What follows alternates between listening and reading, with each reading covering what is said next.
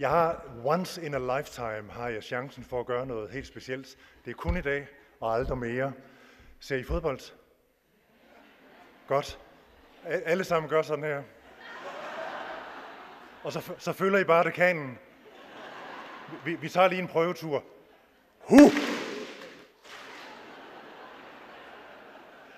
Vi tager en til. Hu!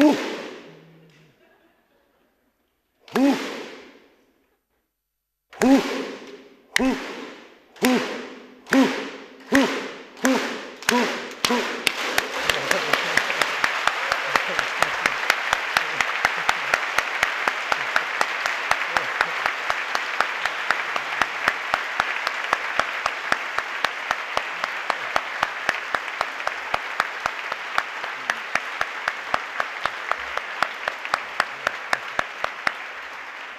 Det er det, man kalder once in a lifetime, ikke?